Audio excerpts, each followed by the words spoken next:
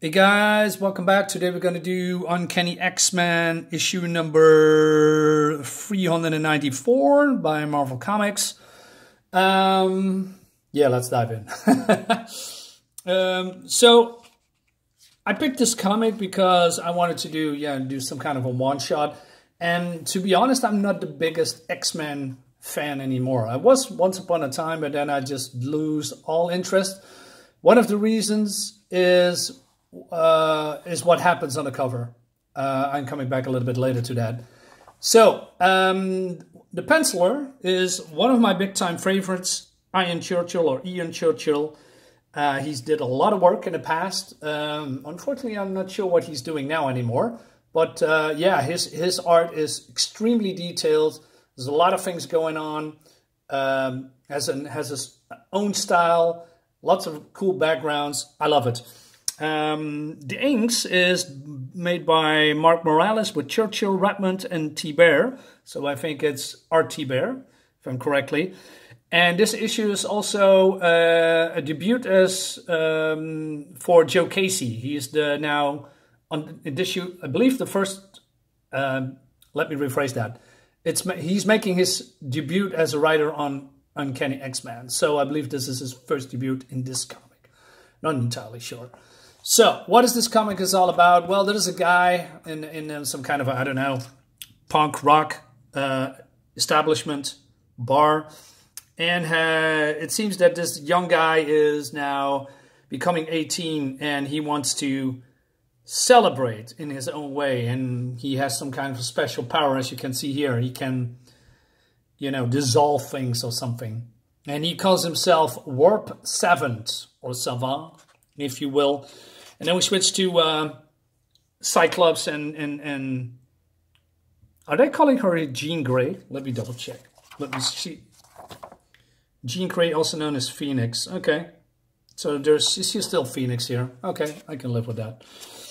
And uh, and of course there's some kind of a how do you say propaganda uh, television news, you know, about that the mutants are probably you know gonna take over the world, and then there's a you know uh, question uh, of time or um, that, that that there are in you know that are going to take over some you know scaring people. That's what the news is doing you know for views and clicks. Uh, you haven't seen it all before in a lot of x-men or other comics that you know the media uses propaganda to fuel um, unrest hate uh, fear. You know what?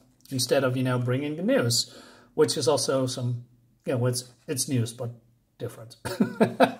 so Savant is going to a, uh, I don't know, some kind of a military uh, place and, you know, screws things up, uses his power to make uh, tanks disappear.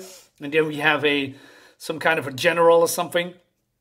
And he is being, you know, the, the uh, stereotypical uh, military guy he says, What is your major malfunction? You genetic defective. I have you downsized, pulverized, and atomized. But then, you know, Seven uses his power and then he disappears as well. So, um, skipping a few pages. Um, X-Men, you know, uh, get a, um, a signal from Cerebro uh, because Cerebro picked up another mutant um, near them. So they're going to fly there with, uh, I want to say Quinjet, but that's not the case. Is this the Blackbird? No, this is not the Blackbird either. Anyway, some kind of a flying vehicle. And uh, Seven is, you know, kicking ass. But then out of nowhere, X-Men uh, enters the fray.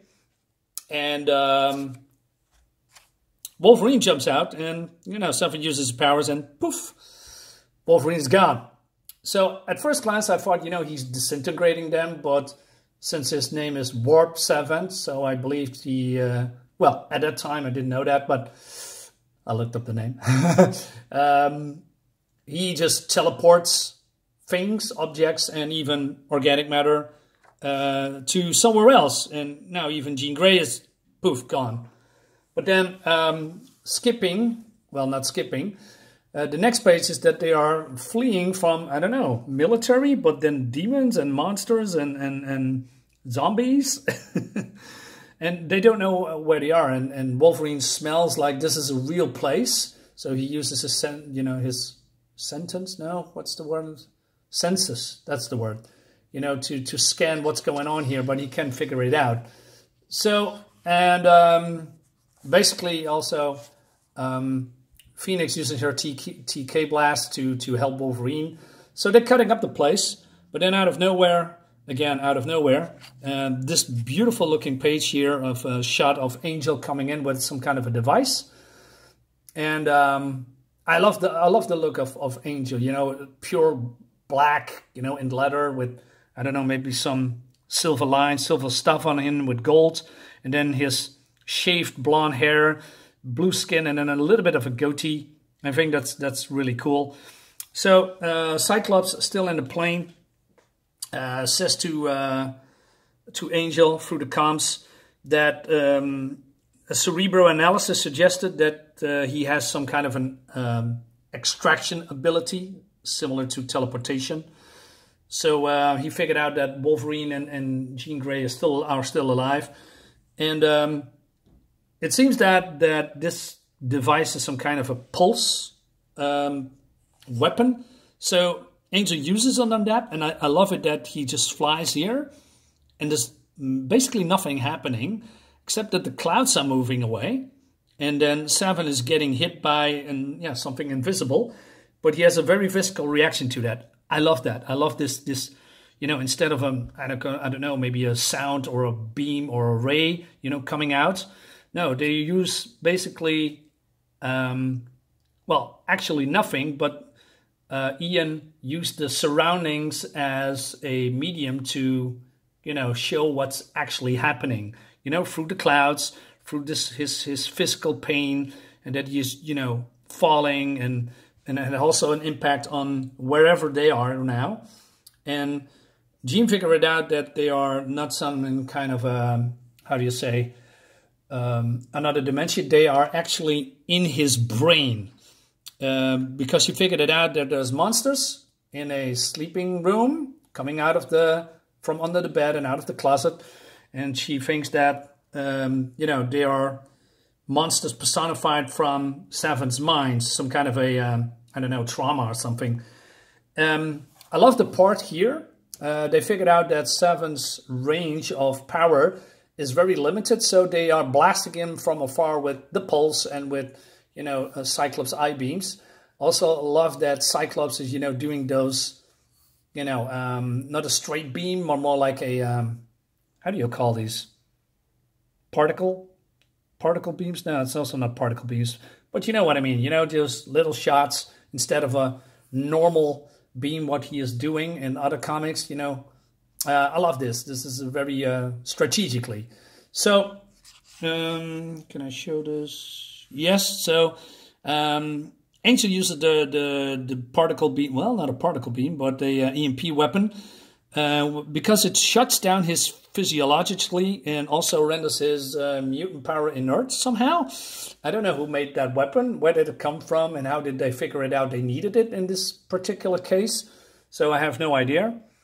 And uh, so Cyclops, you know, lecturing him that he is not Magneto and you giving the mutants a bad name and he just wanted to create chaos and uh, he wants to know where his wife are. And so Jean figured it out that now that the world is collapsing around him, they cannot survive there because there is some kind of a black hole, some some total entropy around them. Uh, so they, she is feared that she is going to die.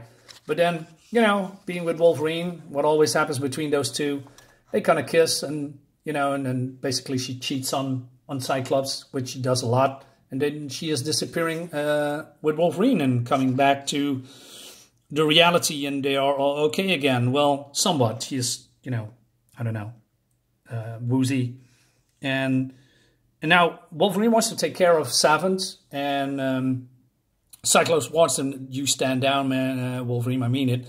But then, you know, Wolverine sees what kind of a threat he is and wants to take him down, and nobody can stop him. But then Savant activates his powers and turns onto himself, and he is warping out of existence. And so I'm not sure he's dead, because according to the internet, this is his first appearance, but only his only appearance. So I guess or he is dead, or he is trapped in his own mind, or maybe swallowed by the entropy in his mind. Not sure how it works, but you know, he is gone. And then, um, well, the last page is that, um, you know, Cyclops is worried for uh, for Jean, and uh, Jean has a hard time. Remember what happened, but uh, Wolverine says, "Well, I remember Jeanie, every bit of it. Another J on a job, huh?" She says, "Right," and she just walks off, and then Wolverine looks very suspiciously to those two, and she he smells. Not sure why. Uh, but you know what? Hey, that brings us to the end of the video. Uh, I'm done with the um, whole Jean Grey Wolverine storyline. I mean, how long has been going on? 30 years now, maybe longer. I'm not entirely sure. Uh, I'm done, and they're still doing it now in 2021. It's just bullshit. It, it's time to, you know, uh, stop Wolverine, you know, uh, going after Jean. He needs to get a wife of his own or a girlfriend or whatever. Uh, stop doing this. I'm, I'm done with the whole trio thing. It, it goes on too long. You know what I actually like when uh, Jean Grey was actually gone and um, Scott Summer, a Cyclops, hooked up with uh, the White Queen, Emma Frost. Uh, for me, that was perfect because Emma Frost is such a totally different character than, you know, uh, Jean Grey, and uh, yeah, uh, they broke up or something because he died, and then he came back and he jumps exactly in their arms. Uh, I mean, uh, immediately in the arms of Jean Grey, who also came back.